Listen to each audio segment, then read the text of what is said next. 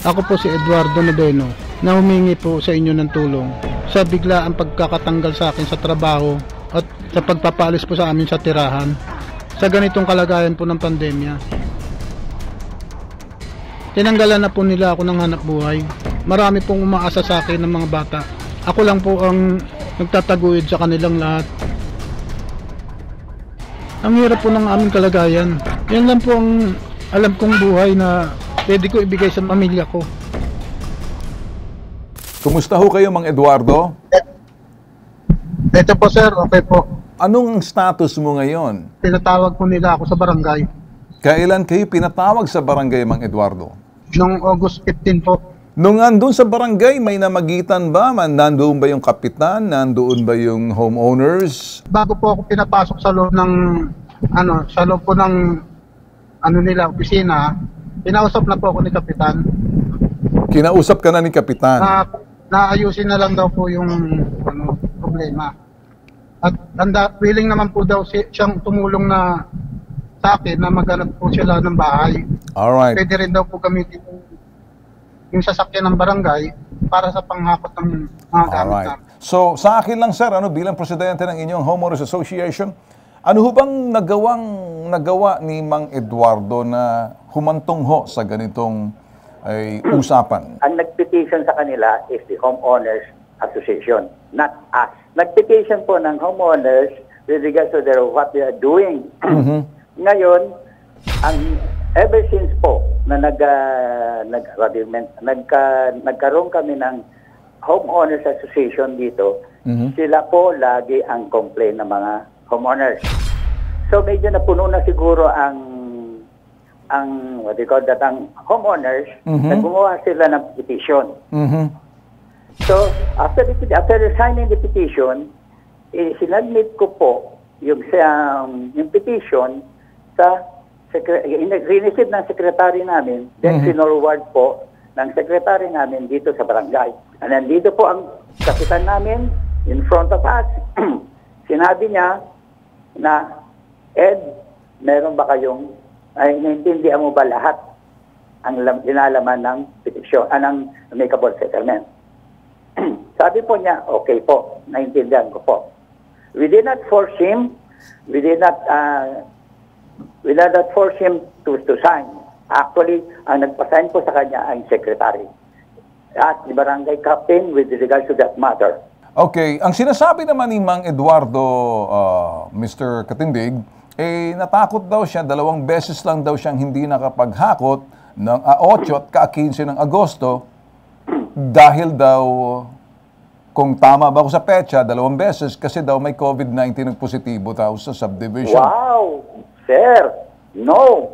Actually, hindi sila humahakot. Hindi na sila humakot.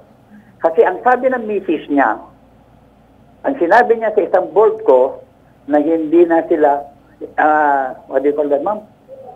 Hin- Hindi sila maghahakot for one year, ay for one week. Kasi masama ang loob nila sa gina- ano namin. Parang lumalabas, isang linggo na siyang hindi humahakot dahil parang meron siyang gripe o meron siyang, ah, parang, I don't, nagpo-protesta ho ba siya? Meron ho ba siyang ipinaglalaban na gusto makarating sa inyo na hindi niya nagustuhan sa inyo? Nasabi niya ba? Actually, sir, wala eh. ah, mabait po si Mr. Noveno. Si Mr. Noveno mabait. Sino hong hindi mabait? Eh, yung mga anak niya and the misis, kasi yan ang po ang rinireklamo ng homeowners. Pero ang inyong usapan, sir, talagang si Eduardo Noveno lang yung uh, inyong kausap dito dahil siya yung That's talaga... it. Alright. Yes, sir. Alright. Ako ang pinagsabihan ng kanyang misis, nag-usap kami doon sa MRF, na hindi sila, ma- hindi maghahakot ng isang linggo kasi masama ang loob. Ganun pa man, Friday, dapat schedule ng hakot ng basura nila, ng hakot ng basura, hindi na sila naghakot. Sa amin, pag hindi lang maghakot ng basura sa loob ng dalawang araw, nagpapanik na yung mga tao. Ang Mm. problema namin talaga yung basura. Okay. Kaya dapat regular na hahakutin. Mm, Okay. Ganun okay. po ang kwento doon. Alright. Sige. Kaya nga ang tao siguro, dumating sa punto siguro na kailangan na lagyan na ng tuldok Yung Okay. problema na ever since ay ganon. Ano bang nakita niyo rito, Kap? Kayo, kayo yung namagitan dito. Actually po, ilang beses ko na rin po sila sinettle dahil siyempre, ayaw ko rin naman po mawala ng trabaho itong sila Mr. Novino. Okay. And yet, doon naman sa side po ng HOA, to be fair naman, binabalansin naman po natin yung mga bagay-bagay. Dumating lang po siguro sa pagkakataon itong mga homeowners, eh, umabot na rin siguro sa sukdulan na napapansin nilang galaw nitong ating mga taga-akot. Okay, alam niyo, Kap, ako nagpapasalamat sa iyo pagiging ah, maunawain, maawain at matulungin. Bihira ho makikita ng ganyang ano ano.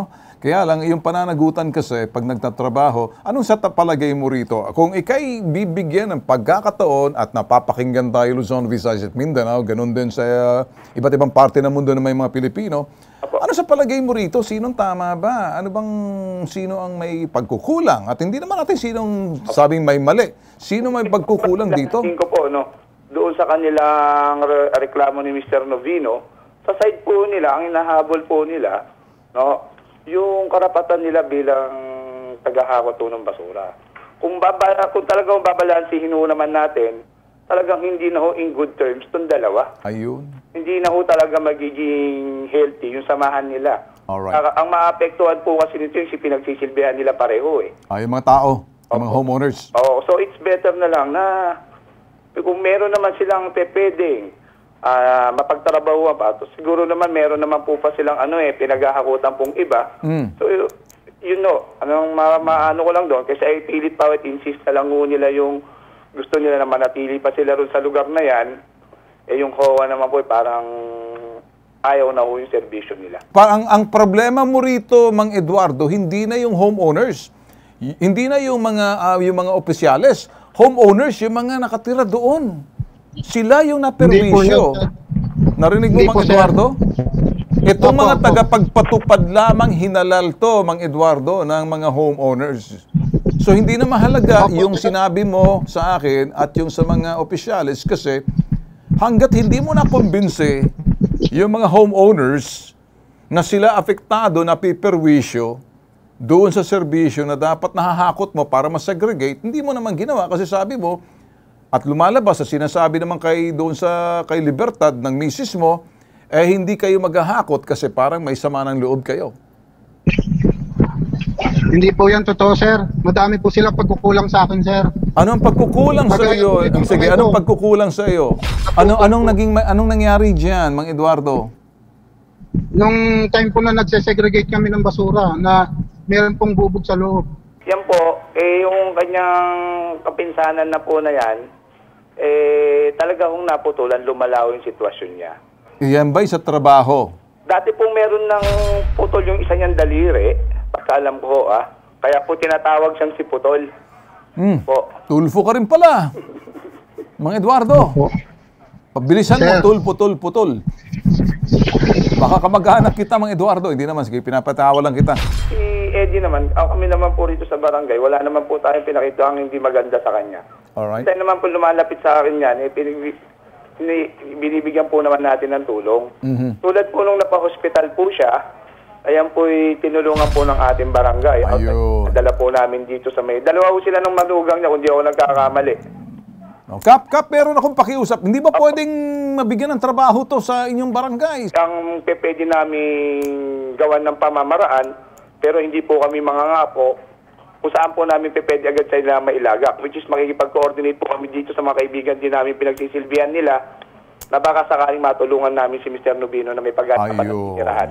Ayan naman pala si Apo. Kapitan, handa ka naman palang tulungan sa sitwasyon mo. Kasi Mr. Novino, pag tumagal ka pa dyan, hindi na maganda. Pinetition ka na kasi nanawa na sila sa iyo base doon sa mga hindi paghakot ng basura at meron na kayong lamat na relasyon doon sa sinasabing asosasyon. Kung kaya, sabi ni Kap, pwede ka naman sa iba. Ito si January Bernabe, nagpadala ng kanyang message. Madaming beses na kaming nagre-reklamo dahil ayaw kaming kuhana ng basura. Samantala, nagbabayad kami ng association fee. Kinamatayan na sir. nga ng tita ko yung karereklamo sa kanila. Yan pong pangalan po na yan, ay hindi po yan naka-member. Kasi po, ang bilin po sa amin ng presidente at ng treasurer, yung mga hindi po nagbabayad ng monthly, hindi raw po namin kukuha ng basura. Ah, totoo po yan. Hindi naman ako nag-ano. May nilagdaan ka bang kasunduan at pumayag ka? Kasunduan na Ano ikay lilisan na at ikay, ano, ano ba to? Ah, Kap? Opo, sir. Opo. Ito po yung amicable settlement, hawak ko po.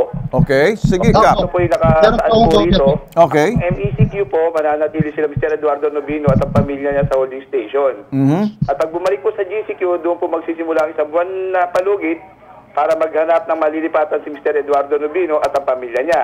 Okay. Tapos regarding naman po doon sa holding station, aayusin ng bagong Eco Aid ng board members ng Phase 1 ang holding station para lagyan ng harang ng blue sack para magkaroon po ng boundary in between po ng holding station sa anong nilalagaan ng kanilang bahay po. Okay. Tapos nagbibigay pa rin po ng tulong ang board members ng Phase 1 at koordinasyon ng barangay para kay Mr. Eduardo Novino po. Ayun. Po ah, pagkasunduan po. ayun, napagkasunduan. Ni- Meron na pala kayong pagkasunduan, Mr. Eduardo Novino.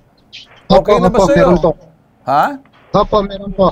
Oy, bakit ka pa lumapit sa akin? At ginawa ko rin ang lahat ng bagay, kaya lang parang parang walang pumabor sa iyo rito kasi lahat naman si barangay balanse naman si Cap Baran Brillantes eh, okay naman kausap okay Cap may tatanong ba ako si meron ba siyang matatanggap na halaga pa pag ulumisa na siya sa tulong ng asosasyon Um, actually po, ah, sir, yung po'y inapila ko po sa HOA. Baka pe, pwede ko may makapag-extend ng, ng cash assistance sa paglipat po nila kung sakasakali po. Okay. Ah, Mr. Katindig, ah, yan ba pwede kayo makapagbigay ng cash assistance man lang? Nag-meeting kami with regards to that matter. Okay. And the board agreed na mag, ah, magbibigay kami ng Financial financial, financial assistance. assistance Ayun. to him. Okay. Hindi na namin Kaya hindi na namin babanggit at aalamin ano.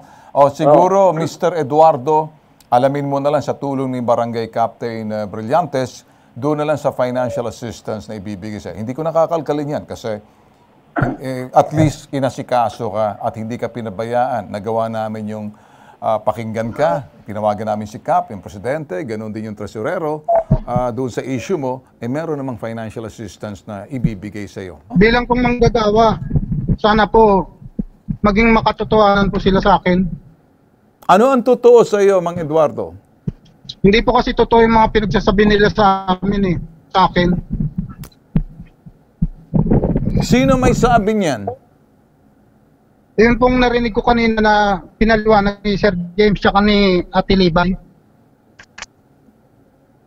Wala Ah, pong Kap? katotohanan yun, sir. Ka- Kap, sandali lang. Kap, nandiyan ka ba ba? Po, po, po, po.